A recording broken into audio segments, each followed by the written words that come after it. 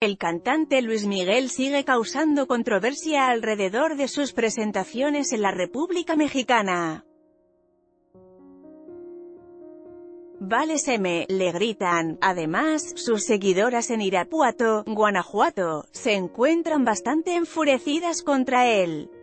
Luis Miguel fue abucheado en el Auditorio Nacional durante una de sus múltiples presentaciones, y los problemas continúan para él, pues varios de sus fanáticos enfurecieron por la cancelación de su concierto en Irapuato. Según reporte en distintos portales de noticias, los fanáticos de El Sol enfurecieron ahora por la cancelación de su show, y la empresa encargada del evento les hizo saber que la devolución de su dinero será de manera paulatina. No creas que por tu serie, que sufriste, que la che dólar dólar por ciento. Luis Miguel regresará al Auditorio Nacional para finalizar sus conciertos en este recinto. En esta nota,